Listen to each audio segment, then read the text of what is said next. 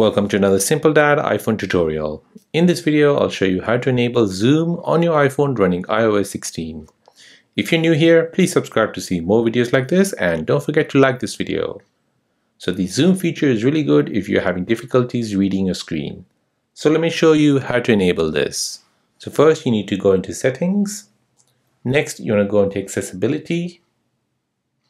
Now you want to tap on Zoom. And here at the top, you want to enable this zoom feature. Just below that, you have a description of the zoom feature. As it reads, zoom magnifies the entire screen.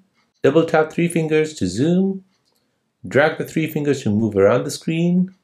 And then double tap three fingers and drag to change the zoom. So let's go ahead and enable this.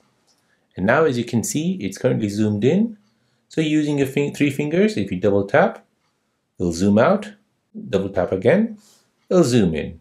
Using your three fingers again, if you drag it around, you'll drag around the screen. And that is how to enable Zoom on your iPhone running iOS 16. If this video is helpful, then please subscribe to see more videos like this.